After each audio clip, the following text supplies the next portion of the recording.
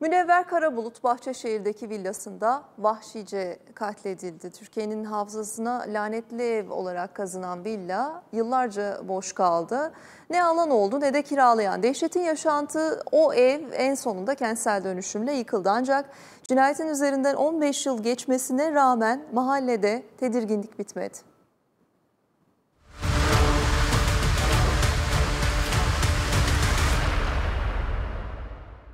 Türkiye'nin yıllardır konuştuğu kan donduran cinayetin gölgesi hala üzerlerinde. Yıllar geçti ancak mahallede tedirginlik bitmedi.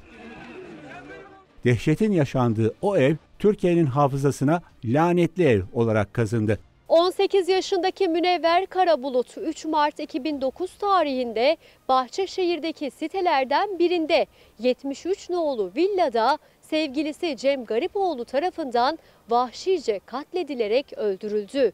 O gün bugündür o ev Türkiye'nin hafızasında lanetli ev olarak kaldı. Burada zaten hemen arkada olan bir villada yaşanmıştı bu olayda. Erkek arkadaşıyla e, beraber okuldan sonra eve geliyor. Tartışma çıkıyor. Cem Garipoğlu kızı vahşice katledip atıyor. Acı bir olay yaşanmasaydı daha iyi olurdu. Tüyler ürperten cinayetin ardından ev boşaltıldı. Ama o evi ne alan oldu ne de kiralayan. Hatta içerisine girip temizleyen bile çıkmadı. Yani herkes korkuyordu. O olaydan sonra kimse oraya hiç gelmek istemedi, girmek istemedilerdi. Ne kiralanma oldu, ne satılma işlemi oldu. Kimse almadı o evi, kiralamadı da. Temizlik için bile kimse oraya hiç girmedi. Lanetli evin bulunduğu 3 katlı villalardan oluşan sitenin 2021 yılında kentsel dönüşüm projesi kapsamında yıkım kararı çıkartıldı.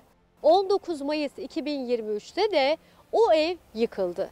Ya, villa sitesiydi, sakindi. Böyle 2-3 katlı bir yerde. Villalar vardı da yıkıldı, kentsel dönüşüme falan girdi. Bir inşaat yapılıyor, evler yapılıyor, villalar yapılıyor diye biliyoruz biz de. Burası daha önceden villaydı. Kentsel dönüşüm meydana geldi. Lanetli ev yıkıldı. Yerine yeni bir site inşa ediliyor. Ancak mahallede vahşetin izi silinemiyor. Hep bu olay şey konuşuluyor. Zaten ailemiz de her zaman bir şey yap, uyarısını yapıyor. Yani karşı cinsle bir temasınız olduğunda hani daha temkinli olun. Böyle bir olay yaşandı burada.